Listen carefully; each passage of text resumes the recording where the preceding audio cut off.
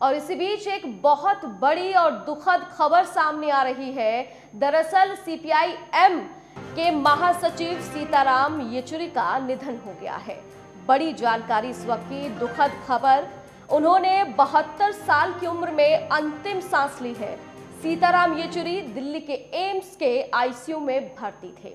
आपको बता दें कि माकपा ने मंगलवार को भी एक बयान जारी किया था और कहा था कि बहत्तर वर्षीय येचुरी का एम्स के आईसीयू में इलाज किया गया था। वो एक्यूट रेस्पिरेटरी ट्रैक इन्फेक्शन से पीड़ित थे। तो बड़ी खबर और कहीं ना कहीं राजनीति में दुख की लहर जो है वो देखी जा रही है। हर कोई उनकी आत्मा की शांति के लिए प्रार्थना कर रहा है और साथ ही साथ उनके परिवार के प्रति संवेदना व्यक्त कर रहा है। बड़ी जानकारी इस वक्त की सीपीआई एम के महासचिव सीताराम येचुरी का निधन हो गया। उन्होंने बहत्तर साल की उम्र में अंतिम सांस ली है।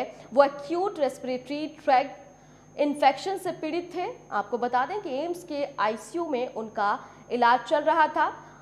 सीताराम, येचुरी को 19 अगस्त को तेज बुखार की शिकायत के बाद एम्स के आपातकालीन विभाग में भर्ती कराया गया था। उन्हें निमोनिया के कारण अस्पताल में भर्ती कराया गया और कोई गंभीर बात नहीं थी, लेकिन हाल ही में उनकी मोतियाबिंद की सर्जरी भी हुई थी। सीताराम येचुरी भारतीय कम्युनिस्ट पार्टी मार्क्सवादी के महासचिव थे। वो उन्नीस से सीपीआई एम के पोलित ब्यूरो के सदस्य भी थे। इससे पहले येचुरी 2005 से 2017 तक पश्चिम बंगाल से राज्यसभा के सांसद रहे। येचुरी 1974 में स्टूडेंट फेडरेशन ऑफ़ इंडिया में शामिल हुए थे और एक साल बाद वे भारतीय कम्युनिस्ट पार्टी मार्क्सवादी में शामिल हो गए थे।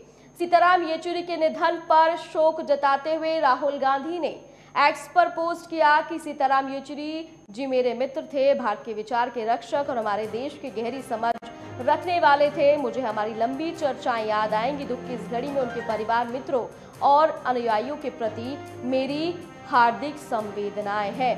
आपको बता दूँ कि सीताराम येचुरी कौन थे?